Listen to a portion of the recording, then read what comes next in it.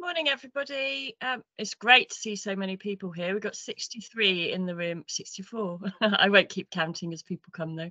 Um, so, quick welcome. Um, the meeting is being recorded, um, so that's just to enable us to share the recording with those that can't make it today, um, and for us to make sure we keep the right uh, account of what's going on. Um, so just be aware of that. And whilst you're not speaking or um, not being invited to ask, a question, please could you keep yourself muted? That'd be great. Thank you. Um, a brief introduction to the uh, agenda. We'll have a welcome and intros um, in just a second. Um, we'll go through the the memorandum of understanding between the um, voluntary sector and statutory sectors. So that includes the ICB and Somerset Council and the engagement framework we're hoping to um, put into place to help with to help with that delivery. Um, Hannah's going to give us a brief overview of the Reflect, Recover, Renew updates from Penny. Um, and then Kate Hellard from Somerset Council will be joining us to do the same about the local community networks and just give you an overview of what they are. Um, we're then going to go into breakout rooms to look at the um, sustainability of the sector and just have a little think about um, what our key challenges are currently and how we might be able to help support overcoming those challenges, I guess. And then we'll do a bit of feedback and close. So hopefully it'll all go smoothly. Bear with us if there are any technical uh, problems. We've got quite a lot of people to put into different breakout rooms, etc. Um, because there are so many, if you wouldn't mind, if you've got a question, just raising your hand and then we can come to you. Otherwise, we sometimes lose things in the chat if it moves too quickly. Um, but please do use the chat as well if you'd like to. Um, Yes, so we've already got a question. so Caroline? It's just that when you're speaking, it would be nice to see you, please. I think that's something that you need to do within your own screen. I can see you, Cindy. Oh. Okay. Okay, sorry, I think it might just be your your viewing preferences, how you've got your viewing preferences maybe. Has that helped, Caroline? No, not really. no, I've changed. I've changed the settings so Cindy's. It might be because we're sharing the slides. Apologies. Hopefully you can watch the recording back and see us all. um, so I'm going to Hannah. Are you okay for me to hand over and I'll I'll take over from the allowing people in. So Hannah's just going to go through a um, a short exercise with us on Menti. Um, welcome everyone. My name's Hannah Snowdon um, and I'm in the partnerships team at Spark Somerset. Um, for those of you who attended the first meeting, um, we used Menti to capture some feedback. We're doing that again. Um, there is the ability to um, for me to share it within the presentation, although I know that might not work for everybody um, if you don't have a Teams account. So I'm going to put a link and the code in the chat so that you can either click on the link and go straight to the questions um, or go to menti.com in your web browser and pop in the code that's there. Um, we know there are lots of different terms that we use to refer to the sector. Um, there's VCSE, there's VCFSE, um, there's the third sector, and we want to capture some feedback from you about how relevant you feel those terms are to you. Um, if it's an acronym, I've put the um, explanation. Um, but you, for those of you who can see Menti on the screen, you should be able to hover over the um, different lines and vote. So we will be able to see um, things as it changes in real time, which is quite exciting. And there will be another question in a minute, um, looking at whether you've got any other suggestions.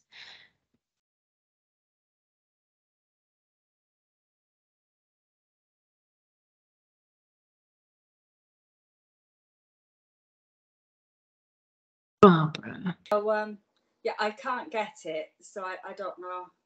That's fine. I will, we'll keep the link live um, for a couple of days. So those that can't vote in the meeting, uh, it'll go out um, after the meeting and you'll be able to vote then. That's fine. Okay, thank you. Sorry about this. No, that's fine. There's some really good feedback there. If we include faith in the title, we need to ensure the faith sector is around the table with us. I feel VCFSE captures everyone, although I struggle to remember the acronym. I know some, I come across in some meetings that people struggle to say the acronym sometimes, um, which is part of, all part of the conversation. Right. I think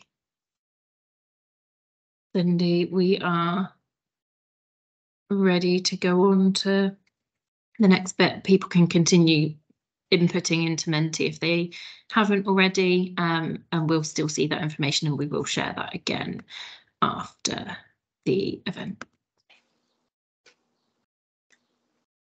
Great, thanks, Hannah. Um, can you share the other slides? Okay, so just a little introduction. As Hannah said, um, we are part of the partnerships team at uh, Spark Somerset. So my name's Cindy Furse, for those that haven't met me already. Um, we are, our role is to try and support um, partnership working between the statutory sector and, and our sector and look at how what the challenges are for that and how we might um, be able to overcome those challenges. Um, so firstly, the MOU update, if we could have that at hand. Lovely. So the memorandum of understanding and the engagement framework. Um, those of you that were at the first assembly some time ago, um, this was talked about briefly because it was still being put together and planned. Um, so since then, there's been quite a lot of movement. So we thought it would be really useful for us to update on what's happened and where we are and how that looks to be um, developing over the next few months. Um, so it's a partnership agreement between the Integrated Care Board, Somerset Council and the voluntary community faith and social enterprise sector. It's a written understanding between partners about how we want to engage and embed the voluntary sector within that governance system and, and, and to ensure that we're supporting decision making. Um, we want um, to be able to shape the conversation and services. So it's really important that we get that partnership um, developing and really strong. Um, it's worth saying that this is something that all ICS systems within the um, country are are expected to put into place. So every VCSE alliance or uh, assembly, as we are, um, is looking to have a partnership agreement with that um, ICB um, and ICS system. Okay, next slide, please. So the vision is around embedding the voluntary sector within the Somerset system. Um, that's about information flowing uh, so that uh, it flows both ways. Um, we can feed information in around um, what activities and services our, our user groups and our communities are really looking at. Um, we want to do that by putting representatives onto strategic boards and groups so that at the very start of those conversations at strategic level, uh, the voluntary sector voice and the community's voice is heard quite strongly. Um, we want there to be flexibility and peer support between those thematic priorities and for infrastructure um, to help support that route. Okay, next slide, please. Our role is to help support delivery and services to people and communities. to have insight from being embedded in those communities. We, we understand how communities are working, what needs there are. Um, each community is very different, and so we, we have that oversight. Um, a mechanism for accessing and hearing stakeholder voices so we can lobby and campaign. Um, experience of taking a holistic, preventative and person-centred approach to supporting community health and well-being. Links across and within different communities of interest and our ability to adapt and be responsive. And we have expertise in impact measurement and co-design of services. So we bring a huge wealth of information and knowledge to this partnership. Next slide, please. we thought it'd be really interesting to just show an overview of the sector. Um, and I'll, I'll leave you to look at that. Um, lots of comments coming in the chat about will these slides be shared? Yes, everything will be shared after this meeting and the recording will be shared as well. So you'll be able to go back over this. Cindy, just before you move on, um, there's been a question in the chat about um, patients in Somerset using um, other systems services like Mendip using BaNES, Yeovil and Dorchester, uh, Yeovil using Dorchester. Um, so will we be signing an MOU with these and all of our surrounding systems, or is it just for Somerset? No, it's just within Somerset. So what we're hoping to do is to extend our partnerships beyond our county boundaries because we we have that all over the the edges of the of the county. Um, so there are meetings that happen regionally as well so that we can keep those conversations going across the ICSs um, and and across the boundaries but but the um, expectation for this um, partnership agreement is very much within our own system so just with Somerset. Okay, next slide please. So we had a workshop that was facilitated um, by uh, somebody who's been working very closely with many um, ICS systems across the country to to help support these conversations. Um, and that workshop was attended uh, by the ICB, the Integrated, Integrated Care Board, Somerset Council, and representatives from the Somerset Group of Charities. Um, and it took place back in March. And during that workshop, we looked at a, a, set of shared values that could establish how our partnership agreement might um, might be developed and and for those values to be embedded in everything that we do within that partnership. Excuse me. Uh, so this is reflected in the mem memorandum of understanding. Um, these values are we are collaborative. So so that it is a proper collaboration so that it's about us all thinking about ourselves as as um, partners rather than uh, individuals and working in silos sharing knowledge um, etc we have integrity building trust and acting with honesty and transparency community focused which is really important um, and helping local communities to develop the, the services that they really need. Um, striving for equity, uh, a model that is shared strategic decision making so that those voices, the community's voices do get heard at those higher strategic levels. And innovation, proactively seeking opportunities to find creative solutions rather than uh, just going with what we know already. Next slide, please.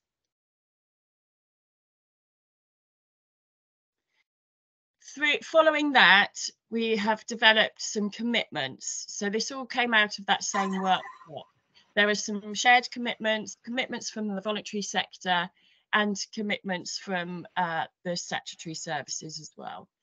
Um, so those commitments are there. They include holding each other to account, being able to um, talk about uh, how we see things maybe going wrong, maybe going right, for um, for the voluntary sector to be able to voice those um, concerns without that reflecting on levels of funding, etc., or, or, putting anything at risk. Um, ensuring we work in a trusting relationship. Trying to get rid of the jargon that's both um, from statutory services and from the voluntary sector as well. Trying to break all of that down. Okay, next slide, please. So the voluntary sector commitments. Um, we want to support a strategic vision for Somerset so that we can build our own capacity, knowledge and skills and expertise um, and can add best value to the services that everybody wants to create for communities.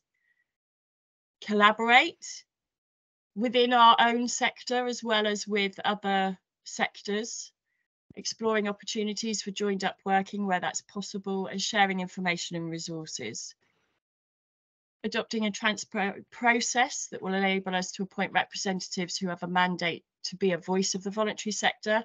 So this refers to the engagement framework and uh, representatives that we'd like to embed within those more strategic boards and governance.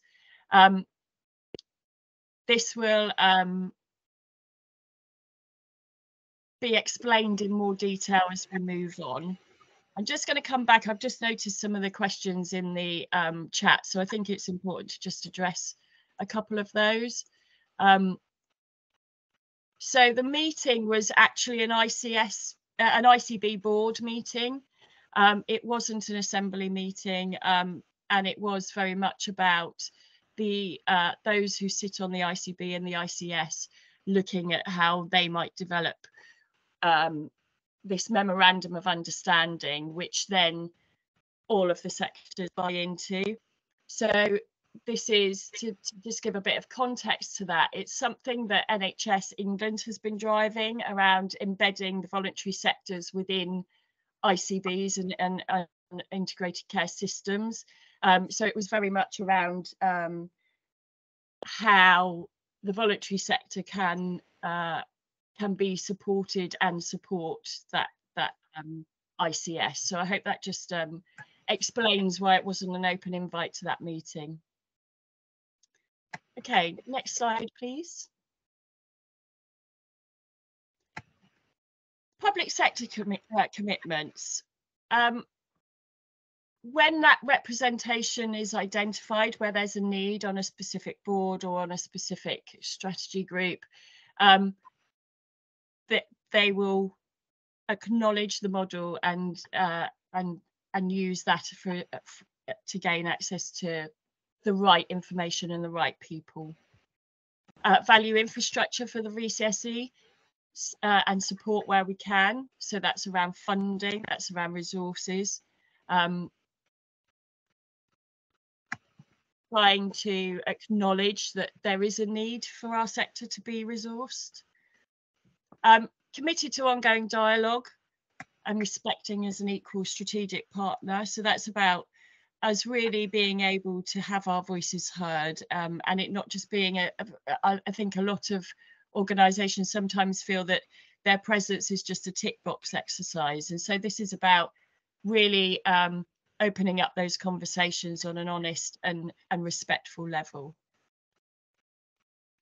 Okay, and a, and a commitment to the timescales that the voluntary for our input. So that's around ensuring we've got enough time to to read notes and and um, carry out proper engagement before feeding in community-based um, information, etc. Cindy, okay. we've got we've yeah. got a hand up from Barbara. Sorry, Barbara. Oh yeah, thank you um, so much. I've actually put it in the chat room in um, reply to your um, saying about this is all to do with faith, um, ICB, ICS, um, voluntary, and only the ICB and the ICS were at the meeting to set out the honest transparency and open it doesn't seem to me that there were members from the other uh, groups or parties there at the time to say, yeah. hang on a minute, I don't like the sound of this. That doesn't seem okay. transparent to me. Yes, there were. So Spark was there along with um, uh, colleagues from the Somerset group of charities. So there were um, there was absolutely um, uh, input from the voluntary sector. Okay, thank you. Okay. Just picking it. It's okay. And also the the the assembly meetings are a way of bringing those conversations to the wider sector. Yeah. So th- the so uh, what it- we're hoping. Sorry, Cindy, this is just being fed back to us today from that meeting in March. Yeah, so as I go through, we've been so there's been a lot of work going on in the background to establish this memorandum of understanding. And, and actually, a lot of the work started over a year ago, and there have been some facilitated workshops. The, the previous assembly has fed into that as well. So, so it's a kind of it's a ping pong match, if you like, I guess. You know, so through this assembly, we're hoping through the breakout sessions, we're hoping to have some more feedback from you all that we can then take back again and, and feed into that process. So it becomes a two-way conversation as we move forward. And it's it, you know, this is this is just a, a document that sets out aspirations really it's actually about the relationship building now and how we how we move that forward and and and really start to put that into practice which we'll we'll come to as we move on. Okay. Hope that Thank I hope you. that clears some things up. We we do get that this is really um uh it's it's a huge um undertaking to change the way in which the voluntary sector has interacted with statutory services. So we do get that this is quite overwhelming and and and, and quite big. So it's we're trying to break it down into bite-sized chunks that we can then um, start that two-way conversation I think that's absolutely amazing. One thing that I haven't noticed so far, and it probably will and hopefully come up, is that because it's um, ICB, IC, I, ICS heavy, I would say, um, patient participation groups who are extremely important don't seem to f- be added there, uh, and I think they should because they're the, you know, they're they're important too, as patients and as um, yeah, everything. really. absolutely yeah absolutely there's there will be opportunity for everybody to feed in health watch is uh, um, invited to this assembly um, as well so that you know um, i hope we hope that everybody's voice will get a chance to to contribute okay next slide please tanya do you want to ask a question before we move on?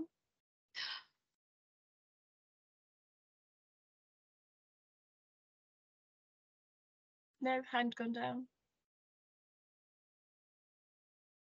No okay. Tanya, no, Tanya's muted, I think, maybe. oh, oh Sorry, I don't know how that happened. I thought I'd unmuted. Apologies. Um, sorry. Yeah, a quick question and also a point. Um, you must forgive me, Cindy, because obviously um, I don't attend every single meeting. Were Health Watch invited to that ICB session? No, it was just the Somerset group of charities for that one. Right. Okay. Um, yeah. No. No. Um, and also just a point for Barbara that um, I would speak to Sandra Wilson, who is the chair of the PPG chairs. She obviously is involved with Health Watch and also sits on the ICB as the chair. So uh, I would use her as your voice as well. Um, by all means, don't.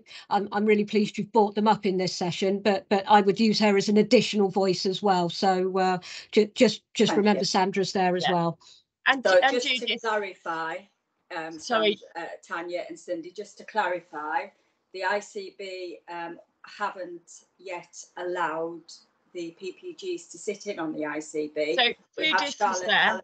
The conduit to, so we're not Ju- actually there in person. Sorry, Judith was there as as uh, uh, as a representative. So she was at that meeting. of yeah. Health Watch No, uh, she was at the ICB meeting. As a representative of Yeah. Health Watch, not Yeah. PPGs. No. Thank you. Okay.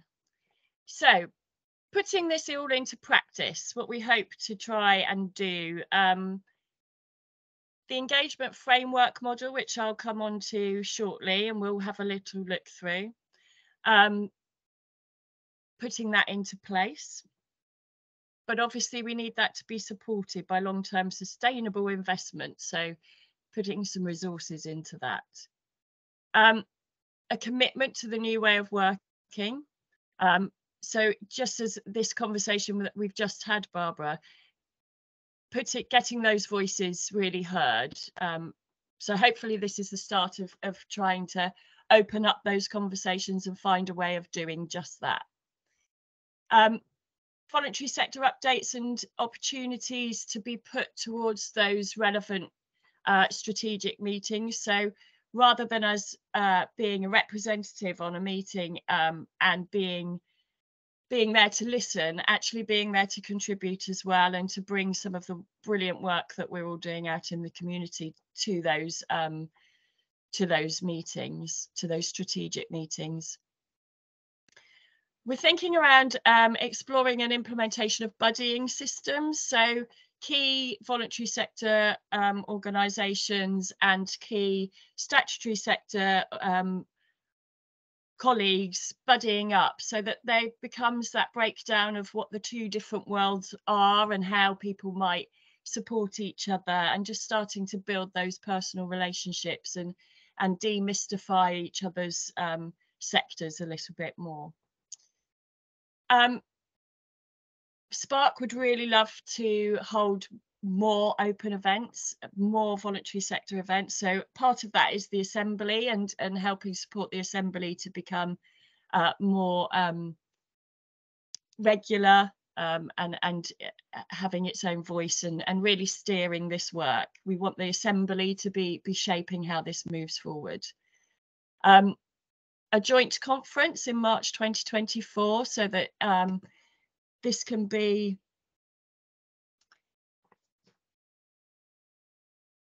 opened up so that we can have everybody in the same room, have these discussions between each other.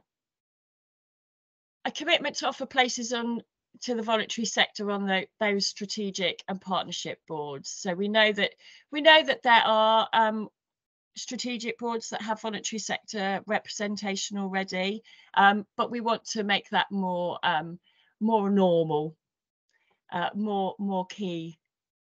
Um, a review of the commissioning process. So looking at how co commissioning can change, um, and, uh, and we have some examples of this quite recently and how things possibly are changing as we move forward. So um, hopefully we'll be able to talk through that as well later. Um, identifying public sector strategic leaders embedded in the system who can work in partnership with the voluntary sector and champion, champion from within their own sectors. So this is really key, really, because I know a lot of people, and we, we are the same, have the same conversation over and over again with different people within the statutory sectors. And sometimes that can feel but a bit of a struggle. So having those people who are within the um, statutory sector, who are able to champion on our behalf and really understand uh, the issues and what we need to do would be really key to its success. Um, and then exploring system-wide mechanisms for gathering data and measuring impact. And we know that that's really important for us always to to find ways of of of really being able to shout about what we're doing and the, the, the really amazing work that we're all doing. Next slide, please. So before we move on, are there any more questions from all of that? Because that was it's quite a, a whiz through. So I appreciate that it's a it's quite a lot to understand and take in as well. So if there is any questions, please do put your hand up.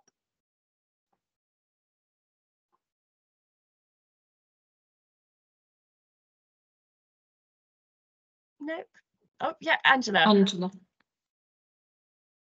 Thanks. Um, morning, everybody. I'm I'm Angela. I'm chief exec at Citizens Advice Somerset and I'm the chair of Somerset Group of Charities. So it's lovely that you've all given the time to come this morning. Thinking about how busy we all are and how complex and fast some of these agendas move and watching the comments in the chat, I'm wondering if the buddy system around explaining the background and the updates. So Catherine um, has led on this work now for several years. And although I've been at lots of meetings, I do have to keep reminding myself what we're doing. So um, it was a statutory change to create the integrated care system um, and to take down the clinical commissioning group. And in Somerset, there's been an awful lot of work to, to establish an effective ICB and a lot of governance, nothing really to do with the voluntary sector that's had to be brought into being. And so where we find ourselves now is a statutory requirement for the ICB to um, work with the voluntary community, faith, and social enterprise sector, and a very long journey for us to think how best can we facilitate that in a way which is inclusive. Um, but I do lose track, and so my suggestion this morning is we just have as a permanent feature a few slides that knit this all together and give us that timeline of who's been who's been where. Um, I know that all of the colleagues at Spark have been um, totally dedicated to the voices of the small, medium, and other larger groups in, in Somerset, but it hasn't been easy. Um, and I'm certainly happy to take any questions, but I'm actually not able to to be the voice of, of all knowledge on this. So I think as a team around Spark, Somerset Group of Charities, colleagues from um, Somerset Council that are here this morning or the ICB, we can we can carry those FAQs that are coming through and create that induction for everybody so we we all stay on the same page. So I thought I'd just come in with that. Sorry to interrupt. Not at all. That's really helpful, actually, Angela. And I think that's a really useful thing for us to clock and, and note as well. Yeah. Um, Caroline has just put something in the chat around Somerset Council being separate from the ICB. Somerset Council is very much a part, uh, part of the ICS. So this is the, the, the this is where the uh, the complicated jargon that we have to deal with comes into play. So the ICS is the integrated care system, so that's looking at it more holistically. That includes the voluntary sector, etc. The ICB is very much the health side of that. So it's the the integrated care board, which is all about the is health driven. There are um, representatives from council and the voluntary sector on that, but it's that's the, the difference. If if if that makes that clear, I hope it does, Caroline. Um, and I think we have a question Paul? Uh, thank you. Uh, Paul von der Heyde, Chair of the Integrated Care Board. I thought it might help just to say that I'm here witnessing today as well um, and will happily help. Um, the Integrated Care Board is, is designed to be a collaboration board between the voluntary sector, the social uh, social care and, and county council or uh, Somerset Council uh, and the NHS. Um, and certainly Catherine sits on there and Judith sits on on our board um, and have a have a proper voice on it. So I wouldn't want just not to think that the integrated care board itself wasn't all about collaboration for everybody. It really is, um, and my my job is to is to hold it together in that way. So so uh, I, I, I really do hope that we can encourage the, the voluntary sector to really feel part of our decision making and so on in there. So just just to just to try and provide that assurance at this stage. I can I understand the anxiety, and it's a huge number of different organisations that we deal with, which is why we have to in the end to have one or two representatives and then work together. But uh, but I mean I'm delighted that we're making the progress we are. Yeah, I think it does need to be said. This is a really positive steps forward, isn't it? That that everybody there is there is a real um, will to try and make this partnership uh, working work. So, so I think that you know everybody is really championing for more voluntary sector input into all these strategic decision making um, boards, etc. So, yeah. Yeah. and, and very at the neighbourhood level, it is massively important that we get, yeah. as, as you said at the very beginning. For me, it's critical. Thank you very much. Yeah. Thank you, Paul. Thank you very much. Okay, so shall we move on? Uh, the council is mentioned separately in the MOU. Just to, it's just to outline who the partners are. Um, that's that's all it is. So the the ICB um, Somerset Council and the voluntary sector. The, the ICB board still has representation from all of those people, but um, but it's still um, it's still good to to outline who those people actually are, who that means. Okay, so the engagement framework. Can I have the first slide, please? So this is a way of looking at how we might formalise and um, put into place quite a simple procedure for having for ensuring that the voluntary sector voice is heard at those strategic level discussions. Now, there are already organisations we know representing um, on some of those boards and strategic groups. And this is in no way replacing those people and those organisations at all. This is more about ensuring that the wider voluntary sector voice is heard. So where there are um, voluntary groups already represented at certain um, at a certain uh, board or group, this extra representatives wouldn't replace those people. Um, this is about having representatives that can bring a wider voice, so the, the wider voice from the, the voluntary sector. So the engagement framework enables voluntary sector voice to be heard within strategic governance and level discussions. There are three elements. The assembly, us, this.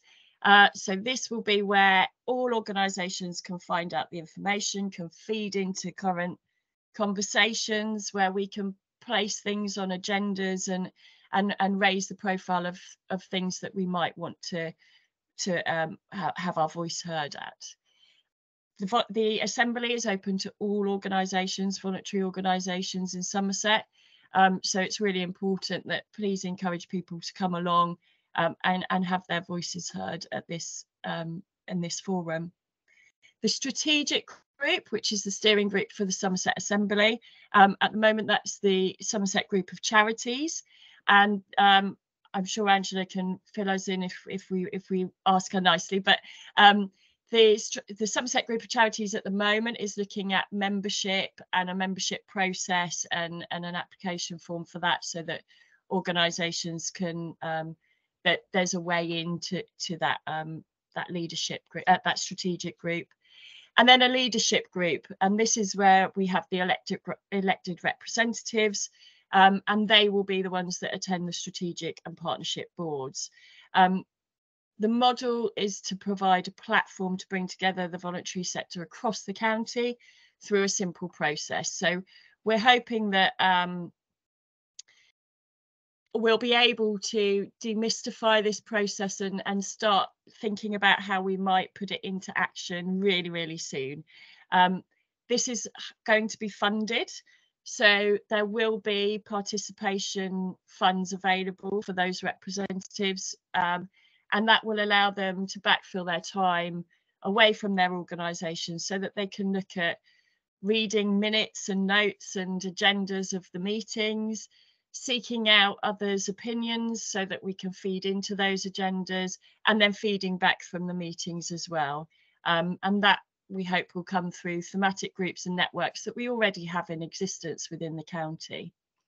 And perhaps we might identify that there are some gaps and we need to create new forums or new networks. But primarily um, at, at the first moment, we are looking to identify some key boards and, and strategic groups that we can then make sure that we have that representation on. Okay, next slide, please.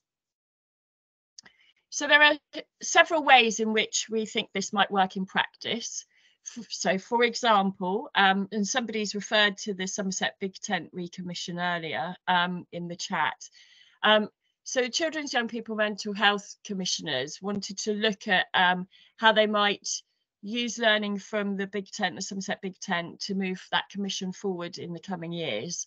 So they approached Spark Somerset to um, to help support them in that. So what we were able to do was to um, help support an event um, with commissioners um, and and start that conversation. They're now planning some more future events, and hopefully that will um, develop really strongly. But it's really good to have that uh, voluntary sector voice at that really early point in conversations around recommissioning. Next slide, please. Alternatively, and this is where we want to just just highlight that it's not a one size fits all, fits all. So there will be different ways in which this engagement model works. Um, local community network support. So um, later on, uh, Kate Hellard will be talking to us about the local community networks. Um, and here is a is a is a way in which our um, engagement model we hope will help support uh, the voluntary sector voice being really integral to those as well. So it might be that the Child and Black Downs LCN decides that young people's mental health is a real priority for them in their discussions and in their planning the link worker, the LCN link worker, each LCN will have uh, their own link worker, comes to Spark Somerset to ask how they can engage uh, the voluntary sector.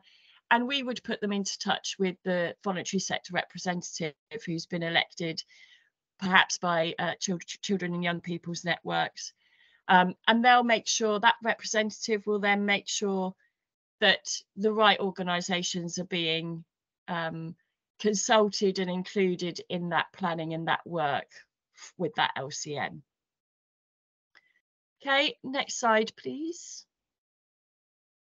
And finally, the more broader way in which we think it will work and uh, is to for us to establish through the groups and networks. So, for example, Food Resilience Group, the Somerset Youth Alliance, or Somerset Dementia Partnership, having representatives who then sit on the strategic boards at the, that ICS and ICB level.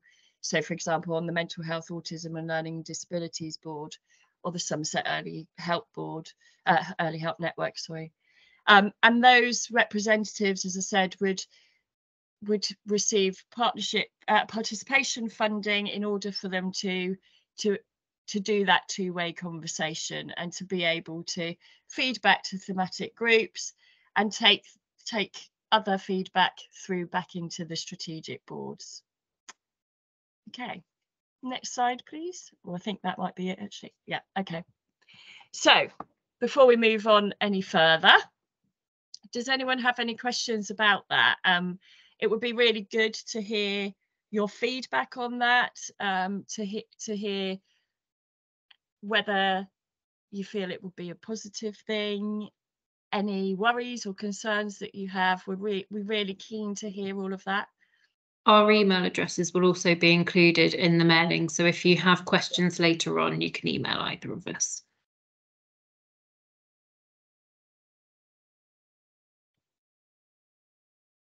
Angela?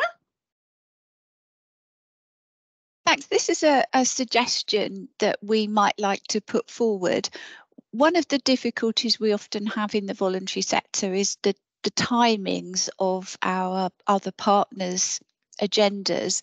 And um, I'm not sure whether there are sort of high level recommissioning plans or high level consultation plans that could become um, incorporated into an annual document. So we have early notice of when we might need to mobilise representation from the voluntary sector.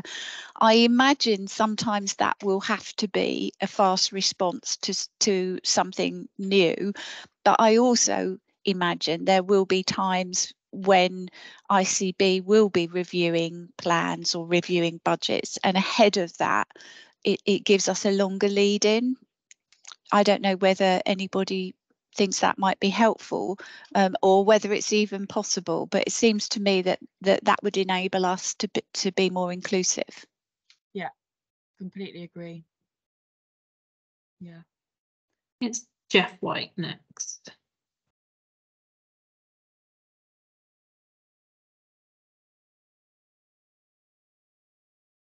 Jeff. Jeff's on mute, I think. I think you're muted, Jeff.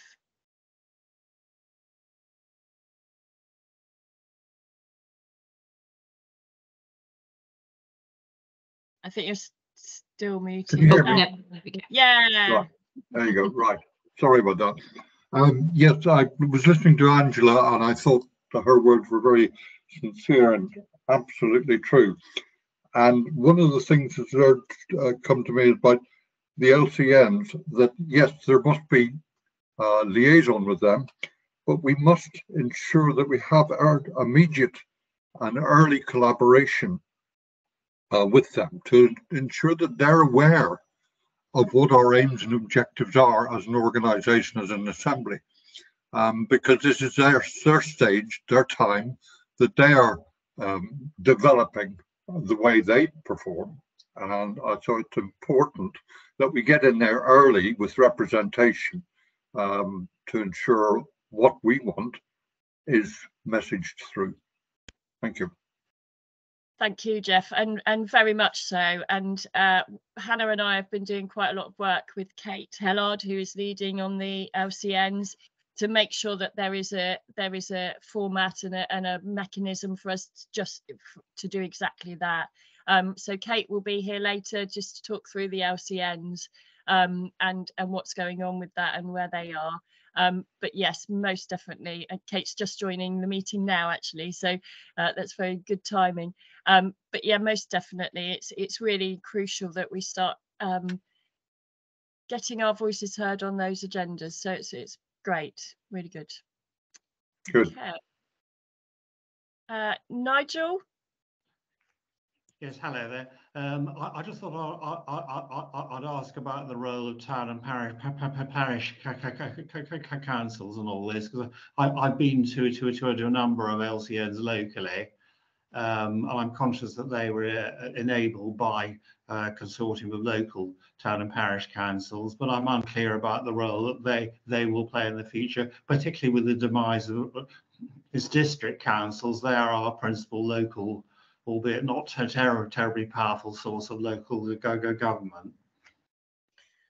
Yeah, I think um, town and parish councils are very much engaged with the, the local community networks. And so I would imagine that that's how how the voluntary sector that that will be part of the mechanism for for for that interaction and that collaboration with those um, town and parish councils. Um, and I'm sure Kate will talk about that later on. Um, next is Richard. Richard. Hi, yeah, I just wanted to really second um, Angela's uh, voice because uh, um, because uh, somebody beat me to putting my hand down. um, because um, we as a parent carer forum, we're not actually so to speak, a statutory service. However, we are written into the Children and Families Act and the um, uh, Code of Practice. Now, for example, you've given the example of the recommissioning of the big tent, which is obviously designed for children and young peoples. We weren't involved in that very first conversation, which, according to the Code of Practice, for children with special educational needs and disabilities, we should have been. So being on that list might have helped. Now, you know, obviously the commissioners should have known this in the first place so that we would have been there, but also being on some sort of list to say, okay, these are the people that need to be involved right at the very early stages would definitely help to make sure that um, you know people like yourselves, Spark, would be able to say, right, okay, th- these are the people that we need to be yeah. getting into contact to be at that table at those first discussions straight yeah. away. So just to reassure you, the first session that they've had was t- was. Oh, don't worry. Um, I've been in. I've been in plenty of meetings with them uh, with Patrick um, since, and we're we're we're very up on on on that. He just got a slap on the wrist for not including us in the very first meeting. That's all. Yeah, yeah. Uh, it was for people who had been uh, Somerset Big Tent providers previously. So um, yeah, absolutely. And and they are putting together a, a next event in October. So keep buttering yes, on that we've, one. We've got the invite in that and all. Great. Thank you. Yeah, and absolutely, it's a really valid point, and we we that's what we're hope hoping to establish via this engagement network is that the right people with the right knowledge are included straight away so that so that we don't miss out on the people that should be involved in that conversation. Um, so yeah, that's the theory behind it all anyway. I'm going to go into facilitator mode and say that we need to move on now because we're Sorry, 10 minutes behind. Sorry, Barbara, we haven't got time to come to you. Perhaps if you could put your question into the chat, then um, I'm, I can I'm and so sorry. I just had the grandson dropped off on me. Ah, Uh, oh, thank you. Sorry, Sorry, about Barbara. That. yeah, no. All it was is Sorry, this- Barbara. Sorry, we're we're going to have to move on. So could you type it into the chat? I'm really sorry. I will do. I'm yeah, running okay, behind. I Sorry always run that. behind. So, Pop in the um, chat. Some of you may have already come across um, the Reflect Recover Renew research. My colleague Penny Schofield has been leading on this. Um, she was unfortunately unable to join us today. Um, so I'm just going to give a brief overview of all the information that she's given me to pass to you. Um, Reflect Recover Renew research was carried out in the wake of COVID. It was to assess the impact of the pandemic on the sector um, and consult on the roadmap for the future and a vision of how um, we can all work together to build the sector's resilience going forward. Next slide, please, Bryony. Thank you.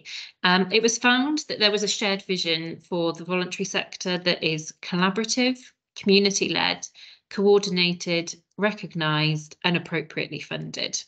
Since the findings were published in March 2022, circumstances have continued to be very, very challenging for the sector as a whole and for the communities that it serves.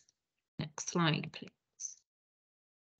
We want to build on the findings of the research and engage groups from across the sector. They might be large, they might be small, CIOs, CICs, to all come together regularly over a period of time to review findings, share experiences and insights, and test out some of the ideas and solutions that had arisen uh, uh, that arose during the feedback, uh, the research.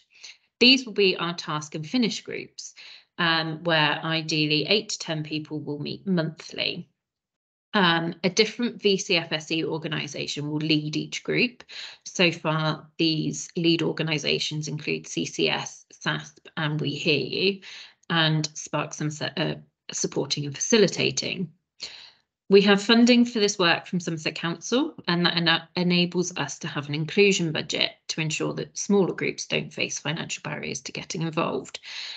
And there is a small pocket of money to trial some innovative ideas or perhaps buy in training or facilitation, um, just a, a little bit of money to kind of enact some of the solutions. The initial meetings are starting in July and August. Each task and finish group will focus on one of the priorities identified by the research. Next slide, please. Um, so collaborative, um, looking at staff sharing, resources, um, an open door in terms of pathways for those using our services. Next slide.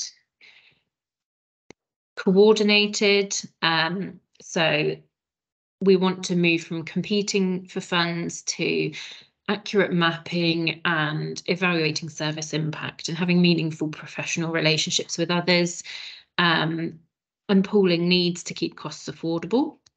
Next slide, please. Community led. So this is looking at community feedback that support people's access needs, developing a flexible approach to volunteer recruitment to fit the available time and skills of would-be volunteers. Recognize, uh, next slide, please. Recognised, um, so raising awareness um, of our high quality provision within communities locally because that cannot be underestimated. Um, and not having a one size fits all um, approach. Next slide. Appropriately funded. um, so making sure that we are um, we have on, ongoing ongoing flex, funder flexibility if project plans must change, um, allowing groups to work together towards common priorities, and more importantly, getting that longer term funding.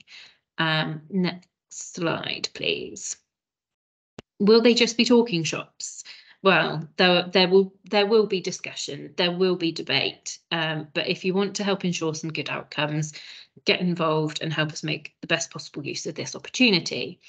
Um, we'll be having some facilitated conversations um, a bit later in breakout rooms, and the key themes from those might um, also provide a starting point for these task and finish groups. I'm going to put Penny's details in the chat if you want to get in touch with her. And for those of you watching the recording back, they'll be emailed as well. So I will pop those out for you and get in touch if it's something you're interested in. Oh, thank you, Lindsay.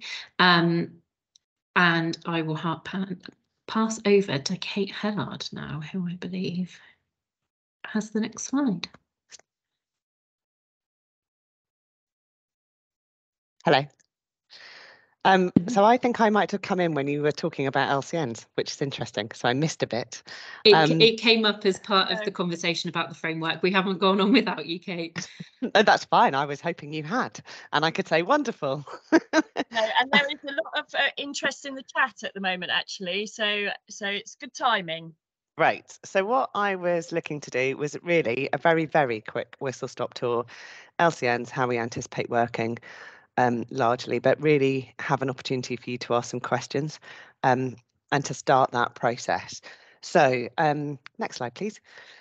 There are 18 LCNs across Somerset. Um, they the drawing up of these boundaries, and I should really reiterate now, these are lines, they aren't walls. Um, so they're, they're boundaries because we needed um, some geographic definition of what L, every, each LCN will look like in order um, that we could identify the right partners in the right places and start to pull together some data. So this has been done really carefully, really sensitively through a long period of, of consultation and engagement to really best understand how our communities work across Somerset. I know more about the landscape character in Somerset than I have uh, learned in my lifetime of living in Somerset. So it's been a really interesting process. Um, we have really we've honoured. So there were some clear lines really around this that you that to explain.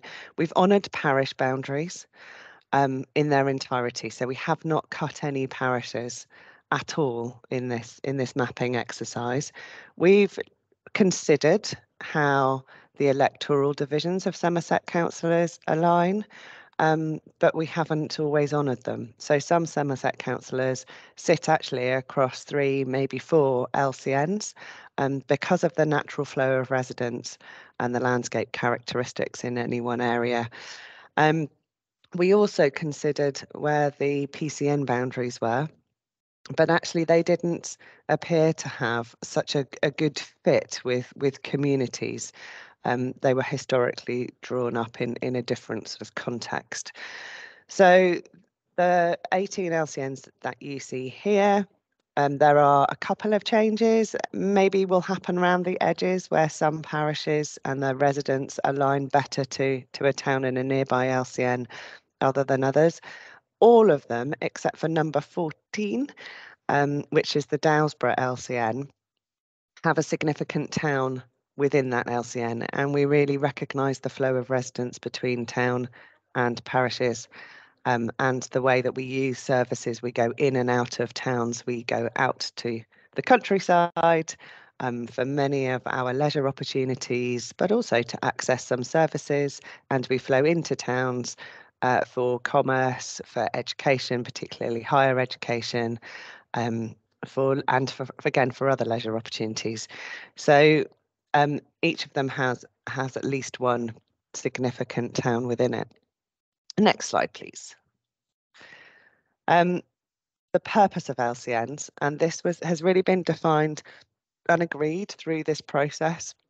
Um, LCNs were proposed in the business case um, for the new unitary authority. In fact, um, what we've done in this process is bring the ambitions of the two business cases together and we've been able to define the process, the purpose of LCNs through the decision making process of Somerset Council since uh, November last year. So they are to be the focus for the new council for community engagement and development with an ethos of local partnership working, looking to improve outcomes for residents through establishing strong connections between Somerset Council, our communities and our partners. And we absolutely see the VCSFE as a completely critical partner uh, and group of partners within local community networks. You are the link in, in many cases into communities. You are the voice for communities, be they geographic or communities of interest. Um, and you are almost always the people that are doing um, the influential and significant work on the ground in our communities. Um, so we have learnt a lot through the three pilots that have been running for the last 18 months. And if we move on to the next slide can tell you how we've um, built on those pilots to really inform what LCNs will be doing in the coming years. So they will be the forum for community voice and engagement. They will be a means of enhancing partnership in democracy, but also in local decision making.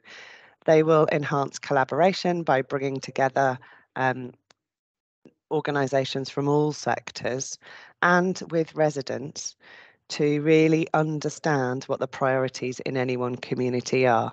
And we anticipate those priorities being across economic, social, and environmental issues. Uh, importantly, they'll be evidence based. And when we talk about evidence, we are talking about um, making sure that we're triangulating the perception of what the issues are in an area with the lived experience of our residents and also the quantitative data that's available. So our data team are working with us to put some data packs together. But the lived experience is really critical. And we think that um, you also have a really significant role to play in helping us better understand that. And then they'll create action plans to reflect how those priorities will be addressed. Uh, and if we get it all right, then those action plans, as we've seen in the pilots, the delivery of those action plans will be shared by all of the partners. So there'll be a range of actions, there'll be a range of, of things to be influenced, there'll be a range of innovative solutions to be trialed and piloted. Um, there'll be a range of things to be shared across LCN areas, across Somerset as a whole. Um, there will be work to do with um, the service, Somerset Council services to influence and shape how they're delivered in a place-based way in the future. But there'll also be work to do to identify and secure resource opportunities for local projects. Um, and already in the pilots, we've seen them draw down funding from uh, national funding sources to increase service delivery through the voluntary sector in their area. We have seen them draw down Somerset Fund, Somerset Council funding sources, um, leverage on local funding sources, and the actions be shared by all of the partners in the room. So if we hop on to the next slide. Um, we have started rolling out the first LCN meetings. They are taking place in local venues um, and they are facilitated by the LCN team. Um, but what I would say is that we have had a real focus on engaging city, towns and parishes in the first instance alongside our Somerset Council members because actually um, for them and in many cases this is the biggest step change and a new way of working we learned very quickly in the pilots that the voluntary uh, community, faith sector, social enterprises are really adept at working in this way, working collaboratively to identify priorities, um, considering what the action plans are, and to think about how the actions, the shared delivery of those actions is, is divvied up in quite a strategic way.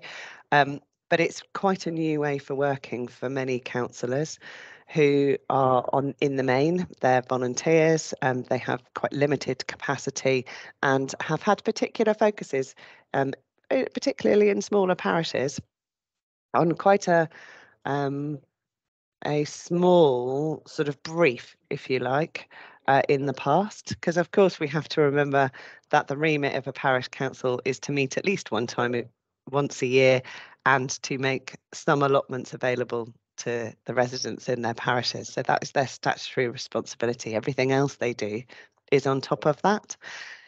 Um, so we've had a standard agenda that has focused on building relationships, identifying a chair, and also starting. And it's really important to reiterate the starting to discuss what's important to residents in our areas. Again, that's walking through a series of questions um, that, that leads us to thinking about what, who else do we need in the room? So lots of your organisations are being identified at a rate of knots because we recognise that we really need you in the room to inform the conversations around one topic or another, um, or that you have a particular geographical um, presence in an area and therefore a, a good wider understanding of, of the needs of residents. Um, the next slide, please. So um, we are in the early days of really identifying and pulling together an LCN team. Um, we're hoping that we will have uh, LCN link officers in place uh, in the autumn. They will have responsibility for one LCN or two, maybe LCNs each, um, but they will be they're very much about it's about having a team of link officers with uh, a myriad of expertise within that team. There is a web presence for LCNs, and you can have a look at our website. If you pop LCNs into the somerset.gov website, you will it takes you to a landing page. Um, you, you see the map that I shared at the beginning, but you can also look at each of the 18 individual LCNs uh, and better understand which parishes are within that LCN and what area they cover. We are, as I said, we're creating those bespoke data and information packs. So we're working really closely with the Somerset Intelligence team to pull those together, but we've also been working with other partners to better understand what data they have and, and citizens' advice in particular, so that we can make sure that we are taking every opportunity to uh, align our data to, to have a broad overview of, of what's going on in areas. We want to identify where some of the issues are in areas um, and, and make sure that parishes know about some of the things that they might not have already been familiar with or know about, but we also want to know about the opportunities. So we would love to hear from you if you can see opportunities over the horizon, whether they be vocational training opportunities or community transport opportunities, um, local walking and cycling infrastructure opportunities. There are many. And so we don't want this just to be deficit based. We want this to, to be really able to tell a story of an area um, and uh, and support LCNs to, to really sort of do that deep dive into some of those areas. Uh, we are scheduling meetings for the coming year. That'll take us up to the AGMs, which will be around about this time next year. Um, we're working with ICT and Democratic Services to ensure that we have that meeting support. They are operating as hybrid meetings, um, which makes them more accessible than if they were just in the room. Even though there are 18, they're still quite big geographic areas. So the, the travel um, and making sure we mitigate that with an understanding of uh, what our transport options are in Somerset. Um, it's really important that we have that hybrid setup. We will be supporting chairs with some training and particularly looking at that facilitation training. Again, this is quite a new way of working. It doesn't have a top table. The way that the meetings work is very discursive. Um, there's a lot of roundtable discussions, um, not quite World Cafe style, but heading in that direction. And, uh, and that's quite unfamiliar for a lot of our um, councillor colleagues. So how they're facilitated is going to be really important going forwards.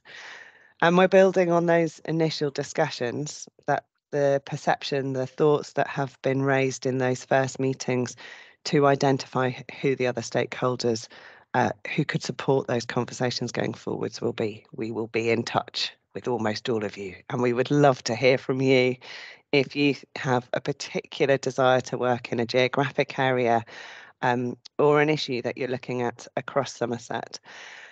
And then we're agreeing with key partners how they'll engage and uh, Spark in particular are the conduit for that discussion really for how we engage with the VCSFE sector. And I always say those letters the wrong way around. I've done it three times today. I've put the F in the wrong place. Somebody said it to me this morning. She said, I think the F is always there. I was like, no, it's not, it's there. And now I've picked up. Um, so that's a real whistle stop tour. I think the next slide just gives you some links. Um, it does, yes, there you go. So there's some links and you can see how we've been working in some of the pilot areas, the FAQs, and importantly, our email address. So do They've all gone into the chat. brilliant. Thank you very much. I can see there's some hands up. Shall I let, what's the best way of doing that? Let me have a look. I'm just gonna just quickly say that we can only sort of do five minutes because we're already I've I've made us all late anyway, so sorry. No worries. I'll be quick in my answers. We've got Charlie first.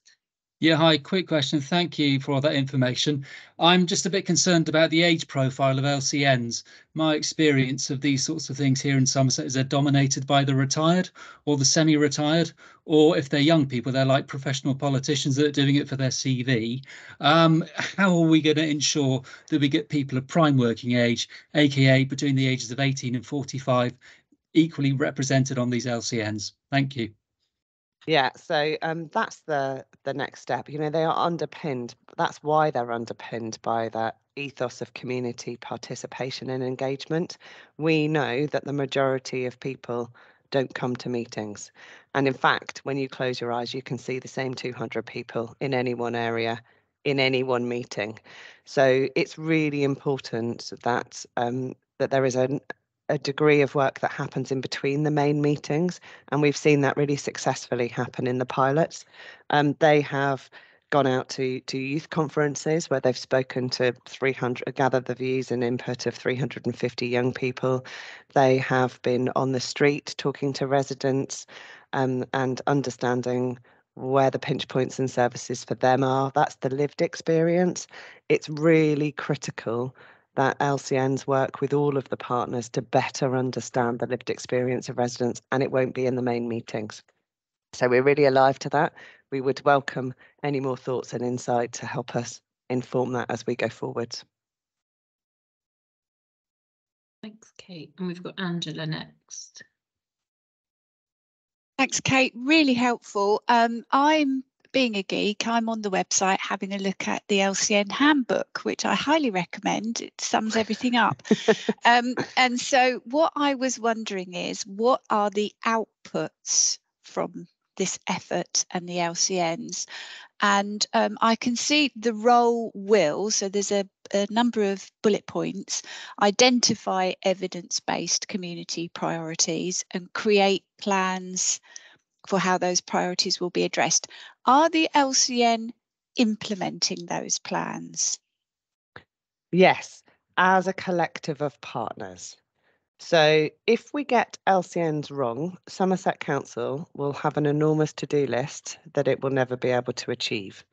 If we get LCNs right, all of the partners within the LCN will have a to-do list that aligns with their existing priorities their ways of working, but they will be greater than the sum of their parts. So, working together, they will be able to access the resources, the support, they will be able to influence policy and shape the delivery of place based services. Does that answer your question, Angela? Thank you very much, Kate. It does. Great, thanks so much, Kate. Um, feel free to stick around, uh, but if you have other things to do, then obviously you don't need to, but feel free. I'd to love stick around. to, and I will definitely come to the next one properly, but I am completely up to Yeah. my ears this morning, sorry. Great, no, fine. Thanks, um, Kate. And uh, yeah, thanks so much. And again, it it's every everything is um we've got this really amazing opportunity for the voluntary sector to shape an awful lot of things and an awful lot of services. So it's this is a really great springboard moment, I think. And um yeah, just keep keep keeping people involved and connected and and hopefully we'll be able to to really shape community services much much more important uh, fundamentally Okay, thank you so much. Um, so we are now going to move on to breakout groups. Um, I think all of a sudden you'll suddenly find yourself uh, leaving Bryony, can we- and placed in another one. Hold on one sec. I'm just gonna share the questions quickly. Everything is in the um it- you so there will be facilitators in the room. Um, but these are the questions that we are going to be looking at and I will let did you want to say anything else, Cindy? Yeah, so uh, it would be really great just to, um, in the spirit of everything we've talked about this morning, we want to feed back to all the conversations that Spark are involved in about what the challenges are for the sector at the moment and what we need as a sector to start even thinking about overcoming some of those challenges. So we can't do that without your input into that. You know, we, we can't speak on your behalf without hearing what you want us to say. So this is that opportunity now to really just put across what what are those challenges for your sustainability and funding right now and how what you need to start thinking about overcoming them. We know there aren't any magic ones. We know that we can't just make everything brilliant and perfect, but but we can start advocating for change and support and um, and and help to to start thinking about how we overcome those challenges. Okay, so I don't. I think we'll be. I will open them now and it will happen. If there are any issues, stay in the main room and I will come and sort you out. It was discussed in one of the breakout rooms. that I think it's really important to flag. Um, is that um, there is a diversifying and developing your fundraising um, training session being run by Spark, and I'm going to put the Eventbrite link in the chat because it's the last chance to book today. Um, so if that is something that you would be interested in, um, the information is in the chat for you. Um, and Cindy, I think it's being passed over to you to go through a couple of the um, breakout rooms. I'm gonna pop Menti back up for some last feedback while you're doing that. Okay, okay. I don't have a list of the um. who- was So. I would go with Ruth and Jeff and Lindsay, I would say, uh, looking at who was interactive in the chat. Brilliant, thank you.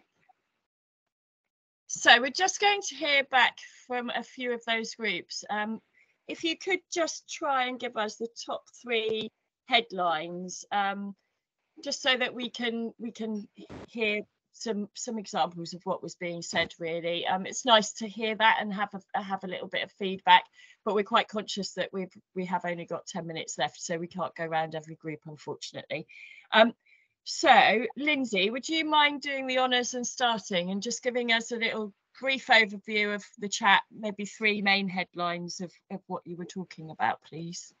Absolutely, sure. Thank you very much. Um, I am Lindsay Brown. I work for Spark Somerset and I work in the communications team. So this has been a great session for me, hearing and reading everybody's comments. Um, thank you very much. So the main the main bits of feedback we had really were, I mean, the key one is is you know for sustainability is is funding for core funds um, being the holy grail um, you know, uh, other smaller or project funding is all very well, but we need the core funding um, uh, in order to um, exist um, and do everything that we do.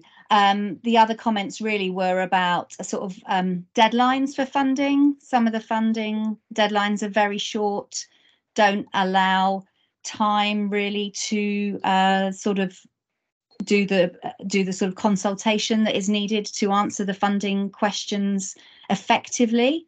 Um, and then also um, sometimes you're expected to ro- report back on the success of the funding within a very short time period when you know perhaps the funding was only really yeah kind of kind of kick-starting the project. So it's quite hard to then report back on that. And then i suppose one other was just around um yeah also that some of the funding um it, you know the the, the time scales um it's a sort of veil of mystery um as somebody put it around um the the sort of time scales um entrenched in financial years um, and you know events it doesn't always work um, the, the timescales don't always work with the sort of projects that you're wanting to um, to put on or um, to run events wise so uh, yeah that was another bit of feedback thank you Brilliant. Thanks so much, Lindsay. Um, I can see some people are just popping some my thoughts and feedback into the chat as well. Please feel free to any, any of the um, uh, facilitators if you or anybody really if you want to just pop some challenges or even successes or things that we can do to to start thinking about some of these challenges then please do pop it all in there um, it's really helpful for us um, so jeff would you mind feeding back please from your group? Hap- happily um, we talked about the the apparent step change required between piloting an air piloting a small project in a relatively small geographic area and scaling that up to a consistent county-wide services. And there's a suggestion that some possibly of our public sector commissioning colleagues need to identify what how that step is is best dealt with rather than saying that looks great can you do it across the county? Because if you've piloted it in one area probably the initial starting point is no. So that's that's a conversation about how we commission things and procure. Um, the underlined the value in the infrastructure offer the support that spark provide in ensuring groups can have those basic governance and safeguarding principles in place to enable them to take referrals and support vulnerable service users and clients and, and recognizing the value of that and always recognizing a need for more um, and also the other one was uh, and this picks up on some of the Menti stuff that's on the screen now around recruiting volunteers with skills like financing, uh, like finance, so finding a new treasurer and things like that. Um, yeah, lot, lots more, but I'm aware of time. Brilliant. Thank you so much, Jeff. And finally, Ruth.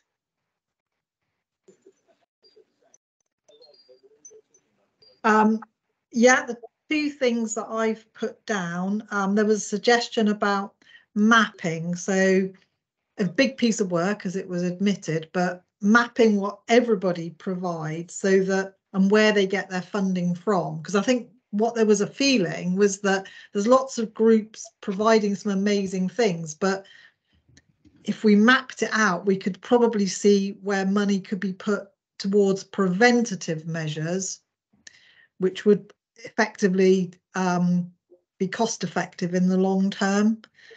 So that was one of the things. And then about having sort of baseline training available to all, all organizations because we were talking about how you know how time consuming it is and how and having to pay for training and things like that. So if there was some if there was a, a baseline of training safeguarding safer recruitment all that sort of thing that was in a package that was just available to small organizations so we knew that everybody had the same training. So those were two of the things that that came out of our group.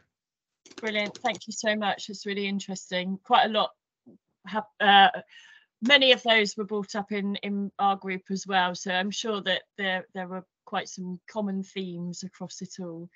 Um, so hannah do you need to talk us through the the menti moment? Do we need to all? Yeah well i think it's just quite nice to look at some of the reflections. A lot of the key barriers to successful collaboration is i can see time cost um, really honest feedback there. As a large organisation, smaller charities feel we're unapproachable, um, which I think is is lovely. Communication, competition, and trust. Um, generic unpooled volunteering training would be useful to a good handful of respondees. Um, 11 have effective working systems for evaluating the impact of your work, which is brilliant. Um, thinking about financial viability, again, longer term funding and contracts um, is top of the list, which is no surprise. Um, and it looks like a central platform to share ideas and resources with groups across the county is the most help in the near future. Um, and yeah, there's loads of feedback coming in in the chat, which is really useful. Um, so thank you to everyone. And like I said, the, the link for Menti is in the chat if you want to um, kind of go away and have a think about it. And I'll keep that open for a, for a little bit and send out information with the posted invite because you might well think of things and you think, oh, I should have said that. Doesn't matter. Tell us anyway. Um, we want to hear. Thanks, Hannah. Thank you. Um, please do, as Hannah's just said, please do send us feedback. We really want these assembly meetings to work for you and to be um, to be useful for you. We're really, really keenly aware that we all have a lot of meetings to go to, so we don't want to be taking up time and it not be helpful for you. So please do um, feedback to us what you what you would like from these assembly meetings and and how we can make them better, uh, more more uh, positive, more helpful. Anything, just feedback to us. We're we're quite thick-skinned, so we're quite helpful. We're, happy to have the the negative as well as the positive. I've noted that we need a, a, a, a comfort break in the middle so we shall we shall do that next time as well apologies um so we'll be sending out all the slides um we'll be keeping everybody up to date with everything um as hannah said please do feel free to contact either of us to talk through any of the uh, any of today but any of the issues that you that are important to you we're really really keen to to hear everything that you need us to hear. So we're very approachable. Please do um, contact us. Um, and I think that's the only thing I would like to say is a big thank you to all our facilitators in our yes. in the rooms. Yes, thank you very much. thank you very and much. Enjoy the rest of your day. Welcome. Thank you. Bye. Thank you. Thank you very much. Bye. Bye.